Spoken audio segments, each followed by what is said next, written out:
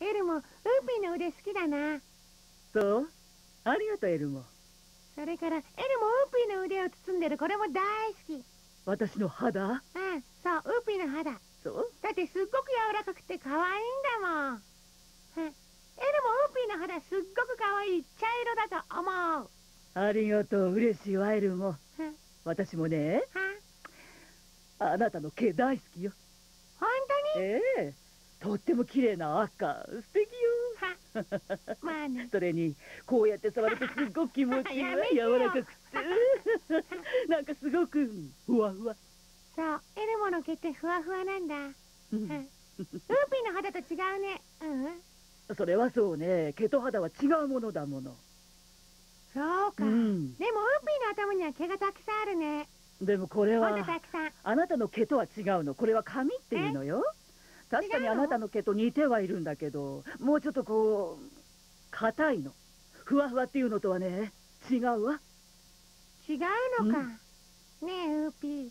エルモウーピーの髪触りたい。いいわよ。どうぞ。やった。はいエルモ。わあ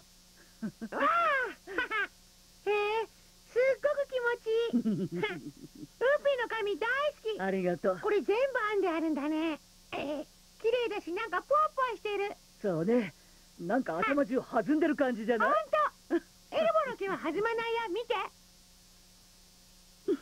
どっか弾んだ？どこも？ね？エルモの毛は弾まないの。そんなこといいのよ。すごく綺麗だもの。だってそう。よ。体中こんなに綺麗な赤い毛で覆われてるんじゃないの。ウーピーはエルモの毛本当に好き？大好き。ありがとう。エルモもウーピーの肌と髪大好き。ありがとう